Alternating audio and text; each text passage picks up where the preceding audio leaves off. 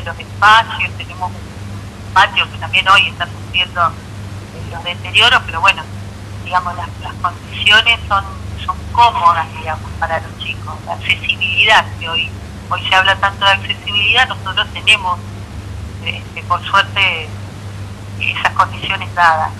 Gracias a Dios la como Gracias a Dios la comunidad está trabajando mucho, por lo menos el contexto social es diferente en cuanto al tratamiento con personas de capacidades diferentes. Digamos que se están abriendo muchas puertas para tener una mirada distinta respecto a la, discapacidad, ¿no es cierto?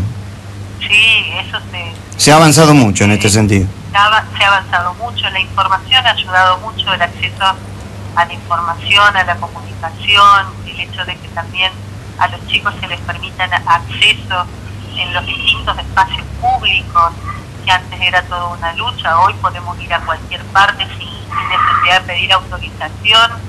Este, entonces también eso se hace más visible, la gente lo, lo, ve como más normal, comillas, y eso ha ayudado mucho también.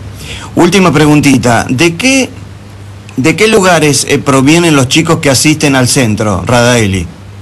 Bueno, tenemos chicos de muchísimas, eh, tanto de la zona norte acá de la, de la ciudad, como chicos de recreo, tenemos chicos de Santo Tomé, hemos tenido chicos de Shanty Campbell, eh, ahora también ingresó hace poquito una nena de barrio Guadalupe Oeste. Claro.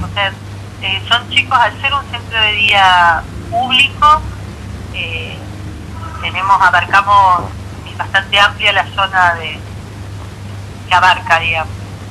Eh, Alicia, bueno, eh, primero agradecido, los chicos te están escuchando con mucha atención, porque de paso los, los chicos del sexto de comunicación multimedial aquí de la radio están aprendiendo a ver cómo se hace una nota en vivo este, desde la radio hacia afuera, online. Sabemos que es un sistema multimedial abierto y estamos trabajando con notas que tienen que ver en el exterior de la radio.